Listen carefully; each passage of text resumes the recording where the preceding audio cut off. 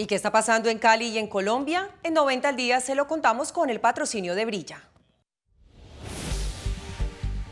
La Contraloría General realizó un análisis sobre las finanzas de 16 EPS y determinó que a corte de octubre del 2023 acumulan una deuda de 25 billones de pesos con las IPS y proveedores, además de lo correspondiente a reservas técnicas y pasivos administrativos.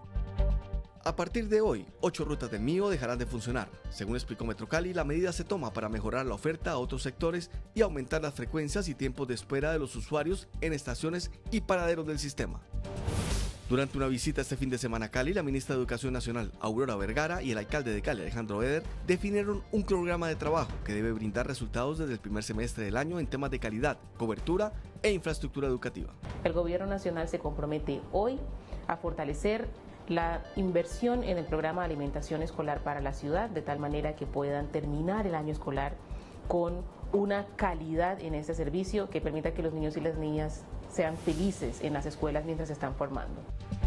La gobernación del Valle del Cauca anunció que asumirá el pago de los servicios públicos de las instituciones educativas oficiales en los municipios no certificados del departamento.